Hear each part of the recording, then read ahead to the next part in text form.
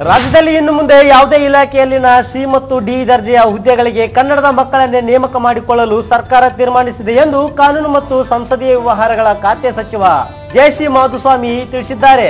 ನಾನು ನೋಡಿದ ಹಾಗೆ ಯಾವಾಗಲೂ ಕನ್ನಡ ರಾಜ್ಯೋತ್ಸವದ ವೇಳೆ ಕನ್ನಡ ಧ್ವಜವನ್ನ ಎಲ್ಲಿಯೂ ಆರಿಸಿಲ್ಲ ಇದಕ್ಕೆ ಉದಾಹರಣೆಯೂ ಸಹ ಇಲ್ಲ. ಕಳೆದ ವರ್ಷ ಕೂಡ ಕನ್ನಡ ರಾಜ್ಯೋತ್ಸವದಂದು ಕನ್ನಡ ಧ್ವಜವನ್ನ ಹಾರಿಸಿಲ್ಲ.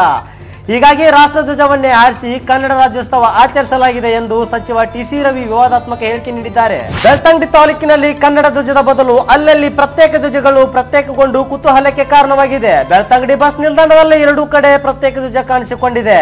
ಇದು ತಮಿಳುನಾಡಿನ ಧ್ವಜವೆಂದೇ ಪರಿಚಿತವಾಗಿರುವ ಧ್ವಜವಾಗಿದೆ. ಈ ಕೃತ್ಯದ ಕುರಿತು ಸಾರ್ವಜನಿಕರು ಅಸಮಾಧಾನ ವ್ಯಕ್ತಪಡಿಸಿದ್ದಾರೆ.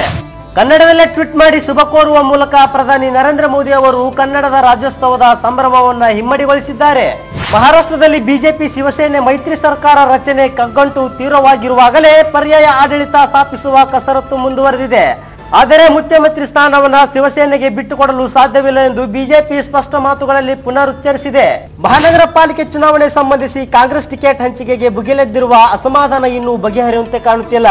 ಕೇಂದ್ರದ ಮಾಜಿ ಸಚಿವ ಜನಾರ್ದನ್ ಪೂಜಾರಿ ಅವರ ಬೆಂಬಲಿಗರನ್ನ ಮೂಲೆ ಗುಂಪು ಮಾಡುವ ನಿಟ್ಟಿನಲ್ಲಿ ಈ ಹಿಂದಿನ ನಾಲ್ವರು ಮಾಜಿ ಮೇಯರ್ಗಳಿಗೆ ಟಿಕೆಟ್ ನಿರಾಕರಿಸಲಾಗಿದೆ ಎಂಬ ಆರೋಪದ ಮೂಲಕ ಕಾಂಗ್ರೆಸ್ನ ಕೆಲ ಹಿರಿಯ ನಾಯಕರಿಂದ ಪಕ್ಷದ ನಿಕಟಪೂರ್ವ ಮಾಜಿ ಶಾಸಕರ ಮೇಲೆ ಅಸಮಾಧಾನವನ್ನ ವ್ಯಕ್ತಪಡಿಸಿದ್ದಾರೆ.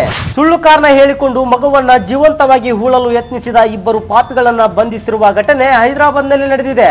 ಗುರುವಾರ ಬೆಳಿಗ್ಗೆ ಜುಬಿಯಲ್ ಬಸ್ ನಿಲ್ದಾಣದ ಮೈದಾನದಲ್ಲಿ ಇಬ್ಬರು ವ್ಯಕ್ತಿಗಳು ಬ್ಯಾಗ್ ಹಿಡಿದು ಮೈದಾನದಲ್ಲಿ ಗುಂಡಿ ತೋಡ್ತಿರುವುದನ್ನು ಗಮನಿಸಿದ ರಿಕ್ಷಾ ಚಾಲಕ ಪೊಲೀಸರಿಗೆ ಮಾಹಿತಿ ನೀಡಿರುವುದಾಗಿ ವರದಿ ತಿಳಿಸಿದೆ.